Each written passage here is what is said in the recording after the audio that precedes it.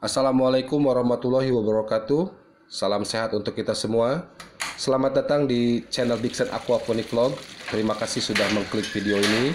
Supaya channel ini bisa terus berbagi pengalaman dan ilmu di YouTube, jangan lupa subscribe, like, dan share videonya. Biasakan menonton sampai selesai tanpa di skip atau dipercepat videonya supaya tidak gagal paham. Oke, selamat menonton dan semoga bermanfaat.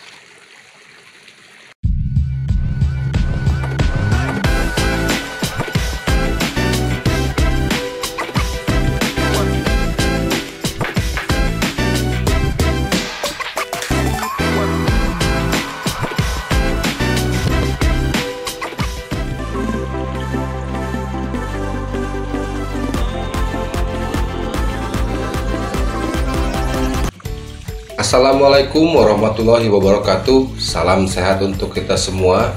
Teman-teman Benih ikan lele ini saya beli pada saat ukuran 8 cm Sebanyak 2000 ekor.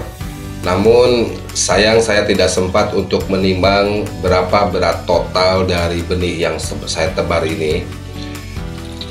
Dan malam ini adalah malam pertama pemberian pakan saya membeli benih ini kemarin jadi benih sempat dipuasakan selama satu hari untuk melihat benar-benar ikan e, lapar sehingga apabila saya memberikan pakan pasta seperti ini responnya akan lebih bagus untuk ikan apabila dipuasakan dulu selama satu hari Nah, pakan yang saya berikan ini memang adalah pakan pelet 781 yang dibuat pasta dan dicampur dengan sosis Sonais BS.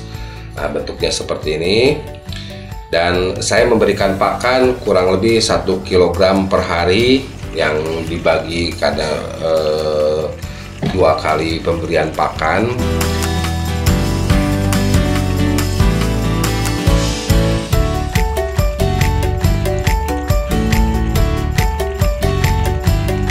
Hari ini adalah hari ke-40 dari pertama tebar benih dan akan dilakukan pembongkaran kolam untuk ditimbang berapa kilogram ikan uh, yang didapat. Ikan yang didapat berukuran 60 sampai 80 ekor per kilogram. Jadi lumayan teman-teman. Nah, jadi hasilnya adalah 16,35 16,19 dan 10,41 jadi total 42,95 yang dikurangi dengan berat ember tiga kali timbang sebesar taruh katalah 2,95 kg jadi hasil ikan yang didapat adalah 40 kg jadi teman-teman kesimpulannya selama 20 selama 40 eh, hari dengan tebar benih ukuran lele 8 cm sebanyak 2000 ekor.